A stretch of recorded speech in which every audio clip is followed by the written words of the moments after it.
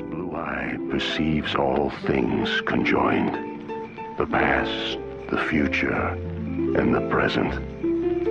Everything flows, and all is connected. This eye is not merely seeing reality, it is touching the truth.